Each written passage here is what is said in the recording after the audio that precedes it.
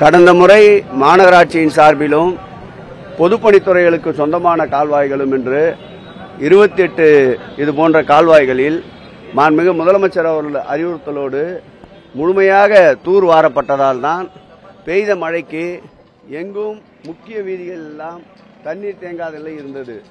இன்னும் கூட மழை இந்த மாதம் இருபத்தி ஒன்பது முப்பது முப்பத்தி ஒன்று இருக்கும் என்று வானிலை ஆராய்ச்சி மையம் தெரிவித்திருக்கின்றது.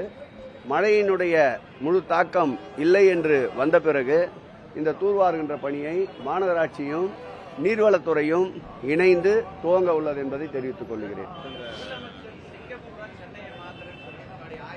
கண்டிப்பா அதனோட அதனோட ஒரு பிரதிபலிப்பு தான் தொடர்ந்துருது ஒரு வார்த்தை சொன்ன உடனே உடனே நிறைவேறாது. மந்திரம் இல்லை இது.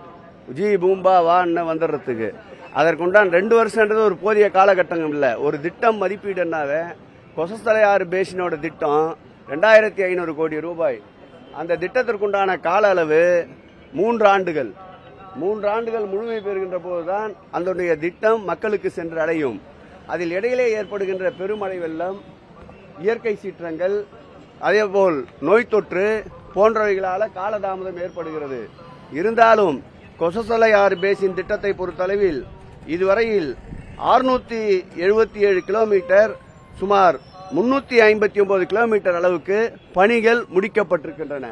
அதற்கு செலவிடப்பட்டிருக்கின்ற தொகை சுமார் முன்னூத்தி முப்பத்தி ஒரு கோடி ரூபாயை செலவிடப்பட்டிருக்கின்றது. ஆகவே இந்த ஆட்சியை பொறுத்தளவில் சொல்லதை செய்கின்ற அரசு சொல்லாததையும் செய்கின்ற அரசு மக்கள் நலன் பாதுகாக்கின்ற அரசு நிச்சயம் மாண்புமிகு முதலமைச்சர் அவர்கள் சொன்னதை செய்வார். கால அளவை சிங்கப்பூர் ஆக்குவேன் என்று குறிப்பிடப்படவில்லை. இன்னும் எங்களுடைய காலம் ஓடிக்கொண்டே இருக்கின்றது. நிச்சயம் அதை மாண்புமிகு முதல்வர் அவர்கள் நிறைவேற்றி காட்டுவார்